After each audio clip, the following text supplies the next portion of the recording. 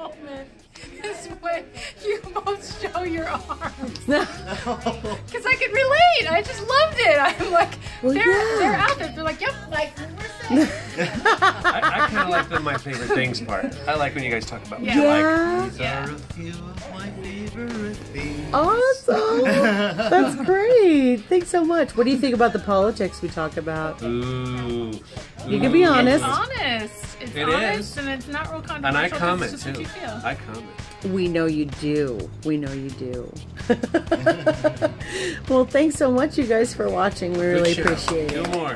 Thank you. We will, whether you like it or not. we like, we like. you.